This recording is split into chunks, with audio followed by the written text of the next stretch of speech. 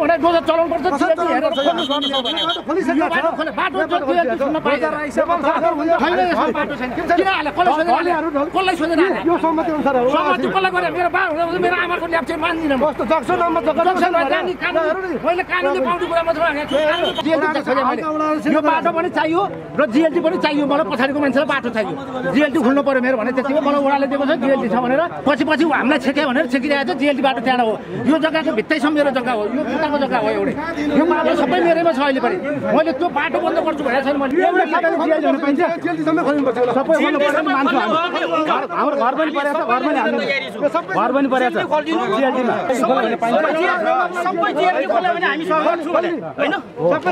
महानगरले नै जिएलटी खोल्छु भनेर आइसक्यो त। महानगरले खोल्यो भने जग्गावाला पनि सहमति हुनुपर्छ सहमति सबै खोल्नु पर्यो। नि त जिएलटी खोल्नु छ तपाईँ एयरलाइन खोल्नु ल्याउनु। घर भत्काइन्छु म जिएलटीमा छ नि,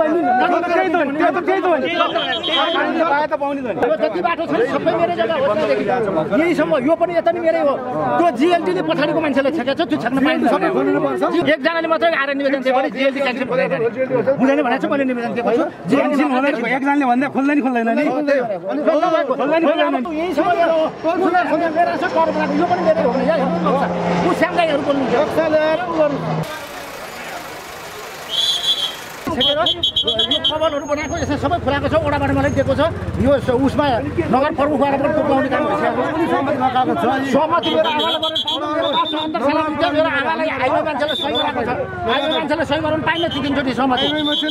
यो- होइन सहमति गराएको बापत बाटो मेरो हाले बापत कहाँ गएको छ? जिएलटी मलाई चाहियो अब। जिएलटी चाहिँ खोजेँ मैले। यो बाटो पनि चाहियो र जिएलटी पनि चाहियो मलाई पछाडिको मान्छेलाई बाटो चाहियो। जिएलटी खुल्नु पर्यो मेरो भने त्यति मलाई ओडाले दिएको छ जिएलटी छ भनेर। यो जग्गा पनि मेरैमा परेको बाटो हो घर जाने बाटो बन्द गरिदिए उतापट्टिको जग्गालाई सबै ऊ अस्ति मात्रै बनाएको यहाँ तोक्या छ मिथि ओडाले मैले रिपोर्ट गर्दा गर्दा नि यहाँ जम्मै मिथिहरू तोक्या छ ओडाले पछि पछि ऊ हामीलाई छेक्यो भनेर छेकिरहेको छ जिएलटी बाटो त्यहाँ हो यो जग्गाको भित्तैसम्म मेरो जग्गा हो यो खुट्टाको जग्गा हो एउटै यो बाटो सबै मेरैमा छ अहिले पनि मैले त्यो बाटो बन्द गर्छु भनेको छैन मैले मैले अब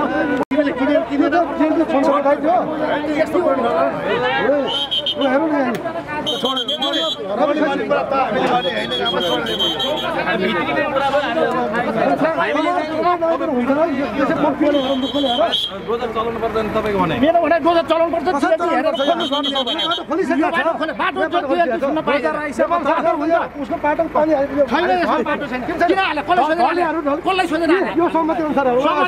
मेरो बा मेरो आमाको ल्याप चाहिँ मान्दिनँ मैले कानुनले पाउने कुरा मात्र उसले म कानुनको उ- गरेको छु परीक्षा मैले अनुसार मात्रै मागेको छु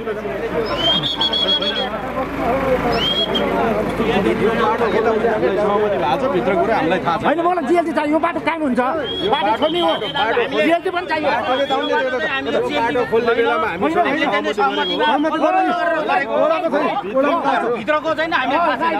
मलाई चाहिँ जिएलटी चाहियो यहाँ जिएलटी चाहियो चाहियो। यो बाटो यो बाटो जिएलटी भने एकजना चाहिने चाहिने हो एक किताले चाहिने भने चाहिने हो जिएलटी भने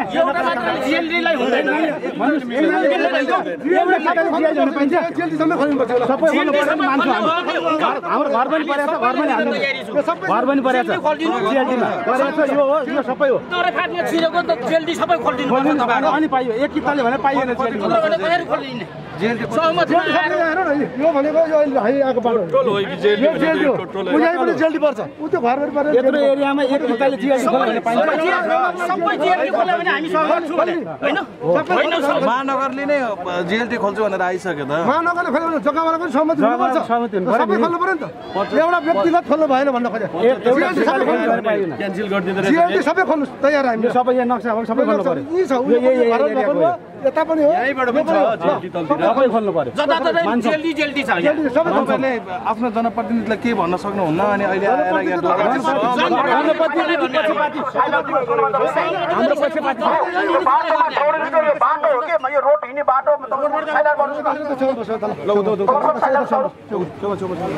सबै खोल्नु पर्यो भन्नु खोजे हाम्रो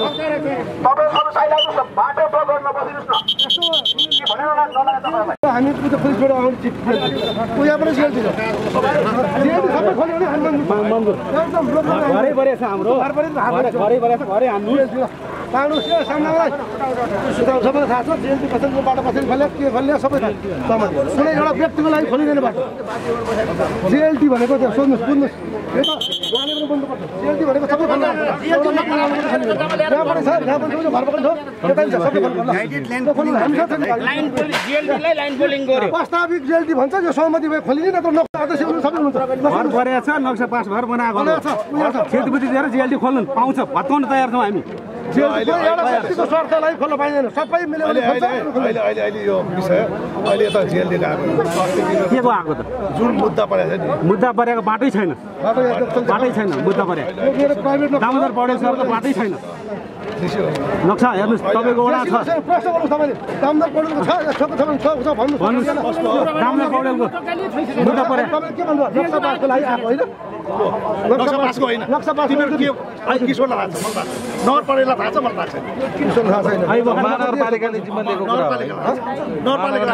जिम्मा लिएको जिम्मा लिएको जिएलटी सबै खोल्नुहोस् कसले कसले ल्याएको ठाउँमा चाहिँ जिएलटी खोल्न पाइँदैन डोजर चल्न थालिसक्यो त सबै ठाउँ जिएलटी खोल्यो भने हामी बोल्नु सक्छौँ एउटा प्रस्ताव अहिले कसको जग्गा पर्यो अहिले?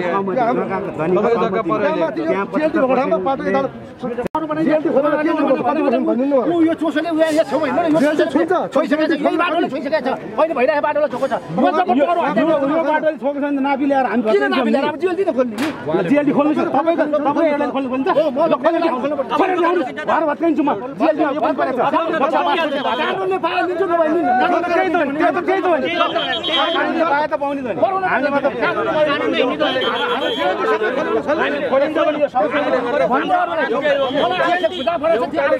एउटालाई मात्र नानी। हामीले यहाँ सहमति गर्दै जेटी क्यान्सल गर्दै जाने उडिवास हुन्छ भनेर फेरि हामी सबै जेटी खोलौँ भन्दै हिँड्ने। जिएलटी भने के हो? बुझेर आउनु पर्यो पहिला। कतिजनाले नि होइन बुझ्ने अब कानुनले मैले पाउँछु नभए राखेँ मलाई केही फरक पर्दैन मैले पाउँछु पाउन कानुनले। मैले त्यति अधिकारमा ल्याउनु न। नपाए भन्छन् नि यिनीहरूले। यहाँ उडाबाट त आएका छैन। राखेको छ सबै होइन मलाई आवश्यकता पर्ने मान्छे जान्छ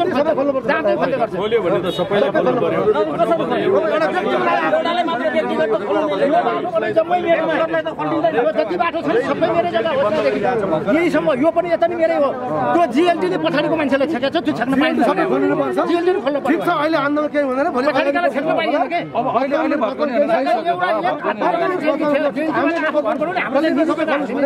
कहीँ पनि जबरजस्ती कोही पनि हामीले बाटो छेक्नु तर खोल्नु पर्यो भने। मेरो माग त्यति हो।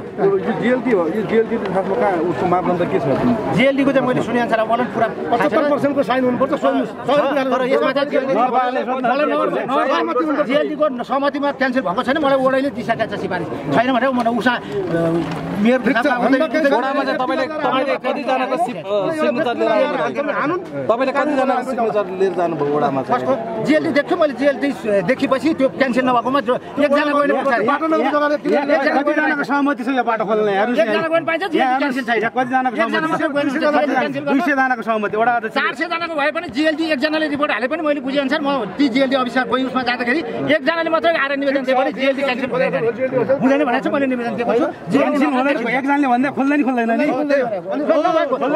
कानुनले जान्छ होला नि। म त्यही हेर्छु। कानुन अनुसार मारे बाटो खोल्नुपर्छ। जेलबाट खोल्नुपर्छ पछाडिबाट खोल्न पाइन्न भन्ने पक्ष पाइन्न। बाटो सबैले पाउनुपर्छ। तपाईँहरूको छिमेकी छिमेकी कुरो मिलेन जस्तो लाग्यो कि यहाँ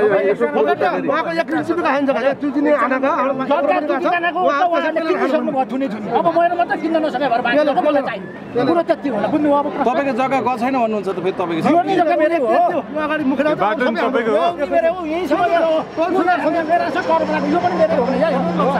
नि यो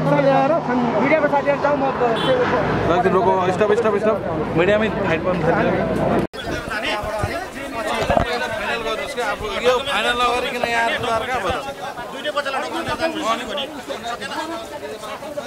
अब अब प्राविधिकबाट भइहाल्छ नि। प्राविधिक पठाइदिनु पऱ्यो नि त यत्रो दिन। अब त्यही- त्यही छ भने अहिले पनि अब महानगरपालिका जान सिटिहाल्यो नि त भइहाल्यो नि। उसको त पटक पटक महानगरपालिका भन्ने यस्तै महानगरपालिका गर्नै रोकिरहने सिस्टमै यही हो जहिले पनि। सबै जहिले पनि। अब उहाँलाई चाहिँ छ नि कुरा के भने नि। जिएलडी चाहिँ कहाँ छ भने एकिन गराएर मेरोमा छाप्रो हालेको छ पनि। त्यो जग्गा मेरो वाल छ उहीँसम्म जग्गा हो पनि। त्यो नापेपछि चाहिएको छ नि त। प्राविधिकले भन्छ नि त हामीले प्राविधिक भनेको हामीले कसरी सुन न यहाँ- ओडाले पनि प्राविधिकको सुन रिपोर्ट न एउटा दिइसकेको छ सर। सुन न अनि त्यो चाहिँ ठाउँ कहाँनिर हो भन्ने कुरो त कसरी थाहा हुन्छ त? ठाउँ यकिन गर्न त प्राविधिक चाहिएन। प्राविधिक ल्याएर चिनो लाउँछ। अनि त्यसपछि हुन्छ के?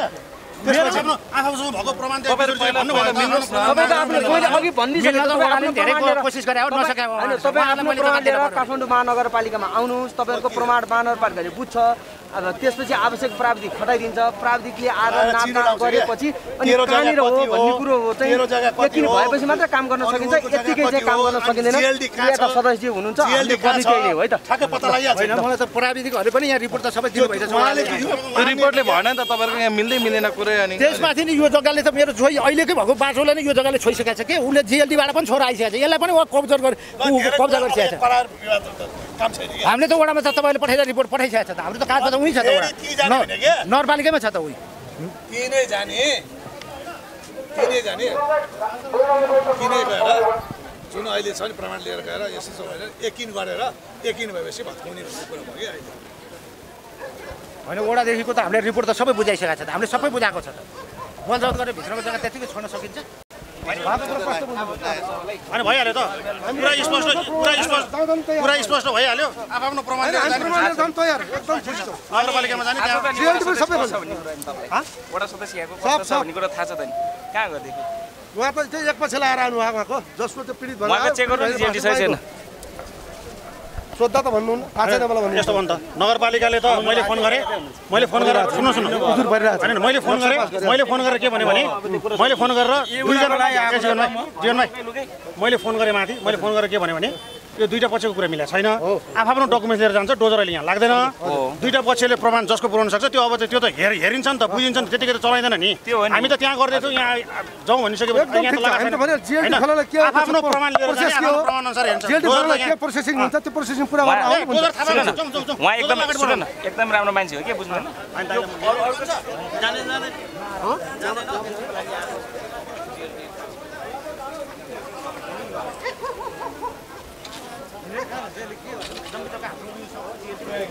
एउटा बाले असफल बनाउने काम पनि यो हो कि एउटा। बुझ्नुभयो एउटा एउटा व्यक्तिको घरमा एउटा वडा सदस्यले माथि रिपोर्टिङ गर्यो नराम्रो गर्ने। अनि त्यहाँबाट बिचरा अब नगरपालिकाले चाहिँ काम गरे जस्तो नि वडा सदस्य काम गरे जस्तो नि हुने। अनि लास्टमा बिजोग चाहिँ बिचरा अनि अर्काको यहाँ। मान्छे पाल्नेलाई मन पराउने अनि त्यहाँबाट अर्को चाहिँ डोजर यहाँको लागि आएको होइन। डोजर यहाँको लागि आएको होइन। डोजर जडीबुटीमा लाग्दै थियो त्यहाँबाट हेर्न जाउँ भनिसकेपछि त्यहाँ सकाएपछि यता छिरेको हामी खास थाहा पाएको जाँदै थियौँ होइन थाहा पाएको हान्दा छ नि त। यहाँ चाहिँ कहिले हेर्न डोजर त कतै लगाएको छैन नि त। डोजर त रोकिहाल्यो रोकिन। ठिक छ त्यही गर्नुपर्छ कि गिरोहरू लागिरहेछ एकदम लागिरहेछ। कसैले पनि सक्दैन। होइन असम्भव केही छैन नि त असम्भव केही छैन क्या यो जेरो बनाउनलाई त अब यस्तो गिरोहरू त लागिहाल्छ नि पुरै। लाग्दैन हजुर भन्नु त। निर्णय त एकदम स्वागत योग्य छ एकदम राम्रो छ। हुन त म पार्टीको मान्छे हो त्यही पनि म एकदमै सहयोग गर्ने मान्छे उहाँलाई। होइन? म नेकपा माओवादी केन्द्रको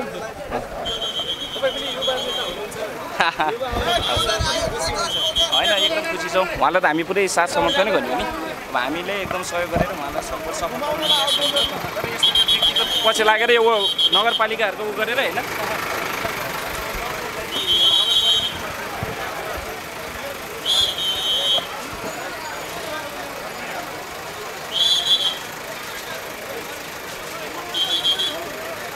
अहिले बाटो चाहियो भने एउटा व्यक्ति जिएलटी खोल्नु पर्यो भनेर आउँछ तर जिएलटी खोल्नलाई पनि प्रक्रिया के के गर्नु पर्छ भन्ने बुझेर आउनु पर्छ।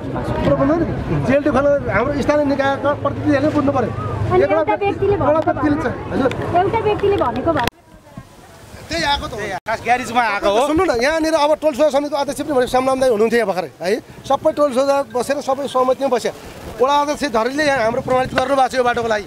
भने एउटा व्यक्तिको लागि हो कि होइन डक्टर अहिले बुझेको हुन्छ नि तपाईँले हेर्नुभयो भर्खरै भर्खर हुन्छ उहाँ एउटा व्यक्तिलाई आउनु यस्तै हो त विकास नाममा।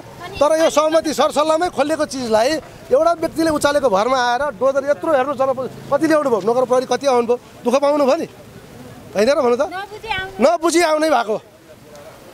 वडा वडा सदस्य पनि आउनु भएको छ उहाँ पनि एक एक साइड ल्याएर कुरा गर्नुभयो। निष्पछि यो कुराहरू त ओडैमा पनि उजुरीहरू परेका छन् नक्सा हाल्नुभयो उहाँले बाटो छैन भने हामीले रोकिदिएको। बाटोमा जग्गा त पा- पा- पार्न पाइँदैन। उहाँहरूले जबरजस्ती पास गर्नुभएको छ। त्यो त कानुनअनुसार जानु प्रक्रिया छ नि। त्यो नगइकन अहिले जुन हाम्रो बालन मैर साहबको चाहिँ अभियानमा भन्छ नि के छिरेर यो मौकाको फाइदा उठाउने हिसाबले ल्याउनु भएको उहाँहरूले। ल सिङ्गल एकजनाको लागि चाहिँ हेर्नु न को छ? अरू को छ त बाटो खोल्नु पऱ्यो? अरू पनि कसो भने देखाउनुहोस्। तपाईँहरूको मिडियाले देखाइदिनुहोस्। कति माग रहेछ यो बाटो कतिलाई आवश्यक रहेछ भने देखाउनुहोस् त। उहाँ एउटा बाइक कसले देखाएको छ अरू कसले यहाँ बाटोमा? यो अभियान एकदम साह्रै राम्रो छ ठिक छ। बालेन्सालाई धन्यवाद दिनुपर्छ हाम्रो होइन? हामी पनि लागेर हिँड्छौँ कोटेश्वर चोकमा हिँडिरहेको छौँ हामी फुटपाथ खालगाडा चाहिँ बाटो सटरबाट बाहिर राख्न हामी त्यो अभियानमा हामी पनि हिँडिरहेको छौँ हाम्रो सुनिल केसी हुनुहुन्छ हाम्रो चाहिँ भगवान् के अरे बुढा बुढा छ कि बुढा सदस्य पनि आउनुहुन्छ बेलुका हामी घुमिरहेछौँ। हामी पनि यसमा लागेका छौँ विकास दाई हाम्रो कोटेश्वर व्यवसाय सङ्घको अध्यक्ष भर्खरै यहीँ हुनुहुन्थ्यो उहाँ पनि जानुभयो। हामी यही अभियानमा हामी नै लागिरहेछौँ भने यो त एउटा व्यक्ति हामी तयार छौँ भत्काउनु भने अहिले पनि यहाँ पनि जिएलटी सबै खोल्छन् भने हामी सबै भत्काउनु तयार ल। यहाँ टोल सुधार समितिदेखि लिएर यहाँका व्यक्तिहरू सबै कोही छन् अरू देखाउनु त बाटो आवश्यक छ। मलाई चाहिँ बाटो भएन भने को चाहिँ देख्यो त्यहाँ कोही देख्यो? एउटा व्यक्ति देख्यो भने ऊ हाम्रो अध्यक्षज्यू पनि हुनुहुन्छ। श्याम लामा अध्यक्षज्यू हाम्रो यो टोल सुधार समितिको अध्यक्षज्यू उहाँ चाहिँ। उहाँहरूसँगै सहमति गरेर खोलिएको र वडा अध्यक्षको रोबरमा पनि प्रमाणितकरण छ यो बाटो खोलेको। जिएलटी अनुसार भएन हामीले भने होइन उहाँहरूले चाहिँ हो। जिएलटी त हामी खोल्ने पक्षमा थिएनौँ सहमति हुन सकेन। नसकेपछि हामीले यो सबै टोल सुधारको दुई सयजनाभन्दा बढीको हच्चा छ। नगर विकासमा हामीले काम गर्ने भनेर वडा अध्यक्षको चाहिँ प्रमाणित गरेर सकल खाता यहाँ पनि छ। नगर विकासले पनि